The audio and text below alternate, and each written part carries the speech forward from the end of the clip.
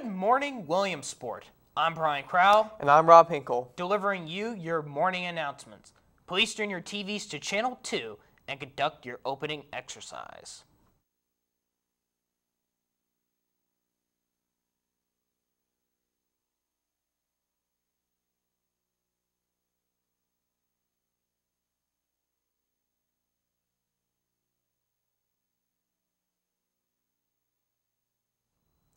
Today is Monday, May 15th, and today is Millionaire Monday. For today's Millionaire Monday, congratulations to the students recognized on Wednesday at the Top Hat Pride Dinner. Samia Campbell, Alicia Chen, Allison Corey, Jesse Cornell, Joseph Dinsmore, Ethan Fisher, Kara Hershey, Skylar Hoover, Kaylee Hornberger, William Knauth, Abigail Laver, Kyle Miller, Ryan Nicholas, Constance Plankenhorn, Amanda Southard, Marion Weaver, Danielle Wisniewski, and Emma Wynn. Thank you all for your hard work during your high school careers. You're the students that make this school great. For news around our school, prom tickets will be distributed in your first period classes this week. If there is an issue with your prom ticket, please go to C213 on Thursday. Reminder, in order to get into prom, you must have your ticket, and if your guest does not attend WHS, they must also present a photo ID.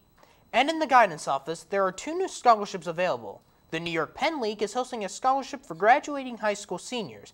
Three scholarships of $2,500 and 11 scholarships of $250 will be awarded.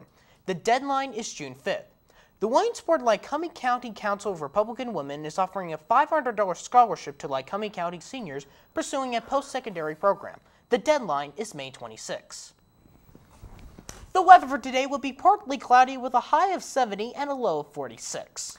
For today's lunch menu, the tasty choices are saucy meatball hoagie with cheese, mixed vegetables, Georgia peaches, and a drink that can't wait to make the donuts, fat-free milk.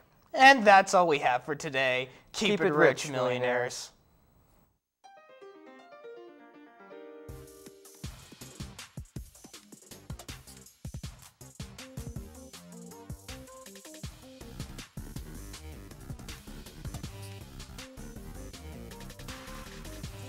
Present. Be respectful. Be responsible. Be safe. And be professional. Only at WAHS.